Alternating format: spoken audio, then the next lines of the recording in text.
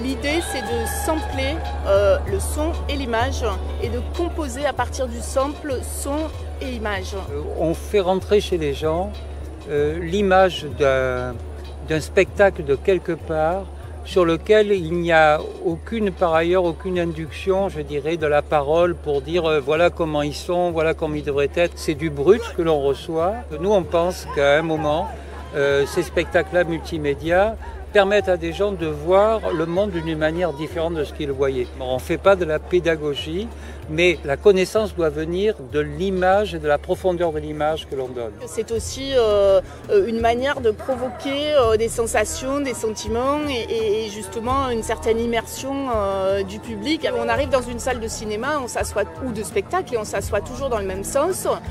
Il y a des enceintes en stéréo et une image toujours au même endroit. le public ne bouge pas, donc on a voulu balayer tout ça et justement faire que le public se déplace autour d'écran euh, et, puisse lui-même, euh, par sa position dans l'espace, déterminer son champ de vision et d'écoute.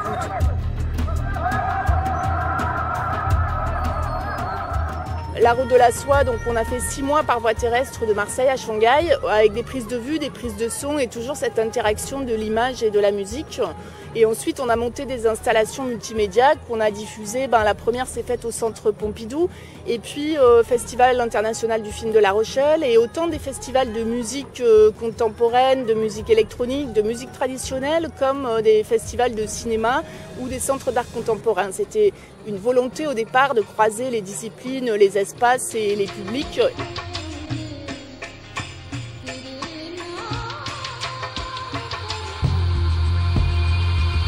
Sur la route de la soie, on en est arrivé à du multi-écran sur tout le port de Saint-Nazaire avec du son partout, une exposition milieu et puis des parties documentaires où justement le public peut aller retrouver les musiciens, les pays euh, et les musiciens euh, tels qu'ils sont dans leur contexte.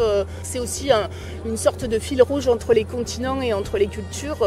C'est ça qu'on a envie de développer quoi, avant tout. La route de la soie, c'est je crois, à peu près 250 heures de, tournage.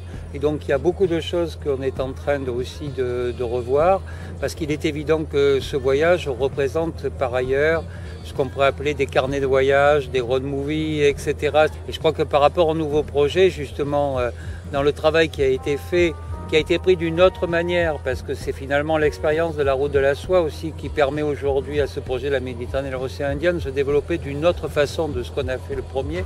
Au départ, c'est une initiative euh, complètement folle, je veux dire, de, deux individus qui décident de le faire, alors que de la Méditerranée à l'océan Indien, c'est aussi par ailleurs une, euh, une époque où on a des partenariats. Et donc demain, ça permettra, je dirais, de, de, travailler plus immédiatement sur l'ensemble de ce que l'on veut faire.